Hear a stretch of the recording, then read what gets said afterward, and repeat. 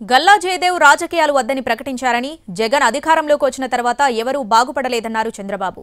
అమర్ రాజా సంస్థపై దాడి చేసి వేరే రాష్ట్రాలకు పారిపోయేలా చేశారని ఆరోపించారాయన వైసీపీ ప్రభుత్వం వల్లే గల్లా కుటుంబం రాజకీయాలు వద్దని విరమించుకుందన్నారు చంద్రబాబు.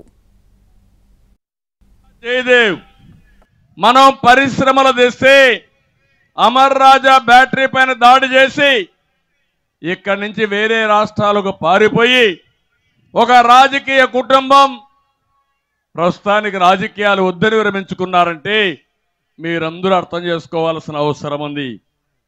వేదిక పైన ఉండే వాళ్ళందరం కూడా బాధితులమే. గల్లా జయదేవ్ మనం పరిశ్రమలు తెస్తే అమర్ రాజా బ్యాటరీ పైన దాడి చేసి ఇక్కడి నుంచి వేరే రాష్ట్రాలకు పారిపోయి ఒక రాజకీయ కుటుంబం